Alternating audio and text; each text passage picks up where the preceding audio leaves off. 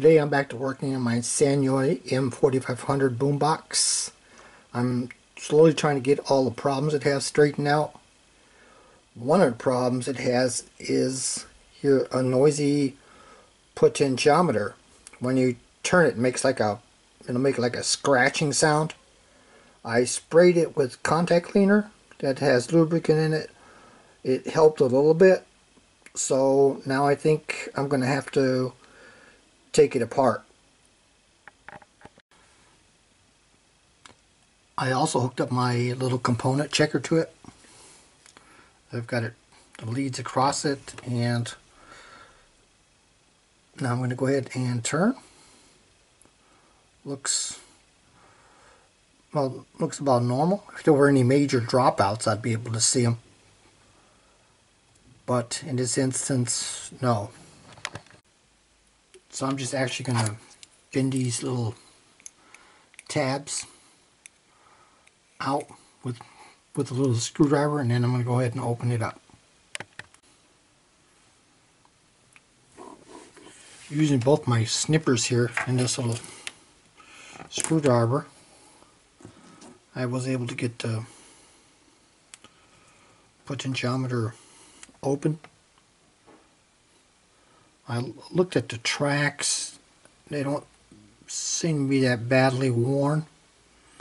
So what I did is I just took some of my contact cleaner with lube, sprayed it in there, and then I used used my uh, my cotton swab and cleaned it up a little bit. And now I'm going to go ahead and put it back together these little tabs here, I don't think you can like open this thing up a bunch of times because sooner or later you're going to end up, I think every time you bend metal it's going to it's going to get a little bit weaker and then it's going to break off. So this is, for me, it's just a one-time thing here. So I actually had to open up this potentiometer again after I cleaned it because I forgot to clean the other carbon track which is right there. And this time I had opened it from, first time I opened from this side, and the second time I opened from that side. I didn't want to bend the tabs too many times. I'm afraid to, afraid you're going to break off.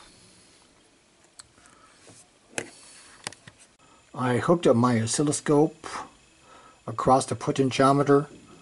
This is a ganged potentiometer so I'm feeding in a 1000 hertz square wave to both sides.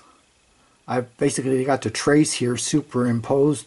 One of the traces is basically superimposed on the other.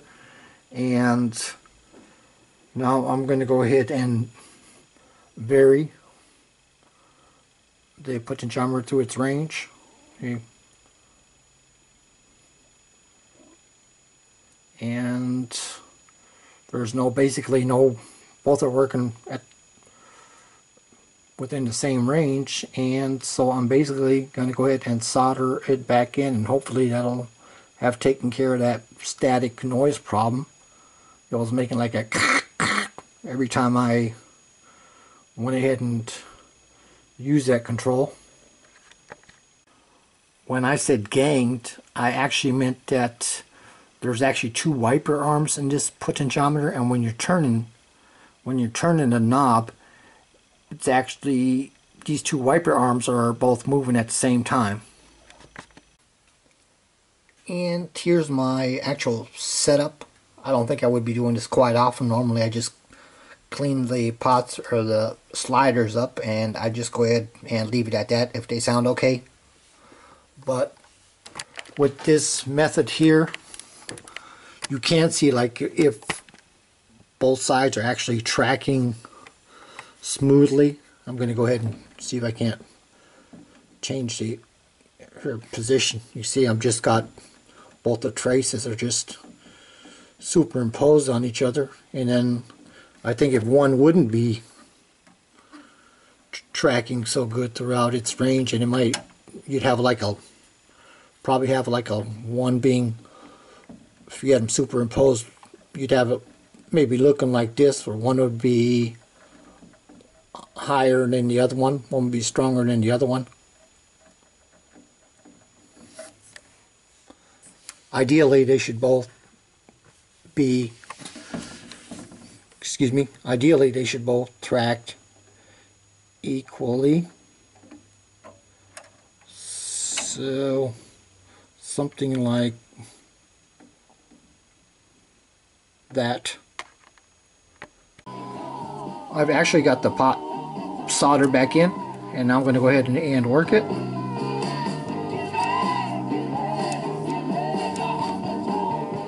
It's got no noise whatsoever anymore so I guess that was an okay job. Actually like I said I only take these apart as a last resort because it is I think a little bit risky might be worse off once you're once you're done. You might break one of the tabs off or stuff like that.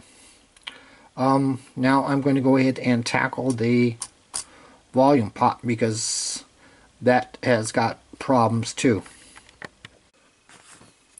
Once I unsoldered the pot, I noticed the this here, that this pad here was loose and destroyed. That's probably why there was a big old gob of solder on there. Somebody tried to bridge that.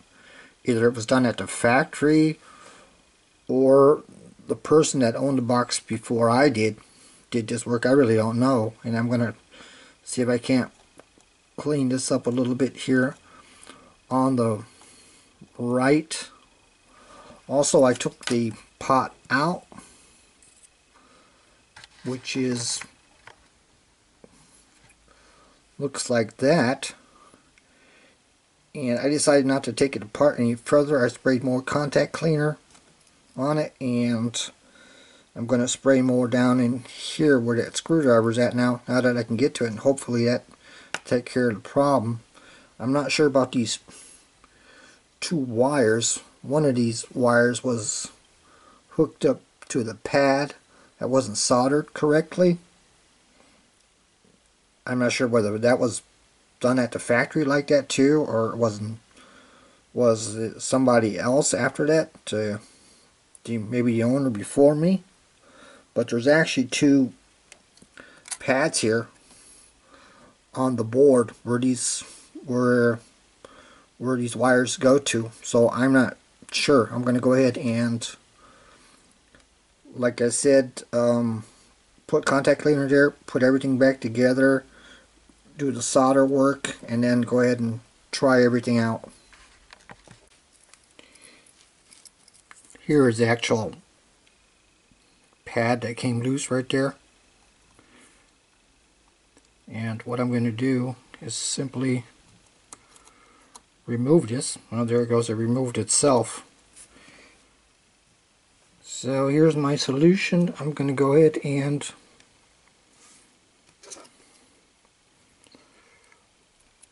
take this piece of wire here. I wrapped it around the pin a little bit and then soldered this here. See I already stripped all this off and then once I'm done I'm going to go ahead and cut it off.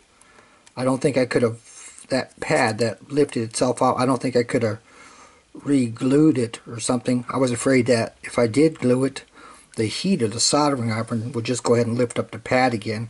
So I'm going to go ahead and try this solution. I've got the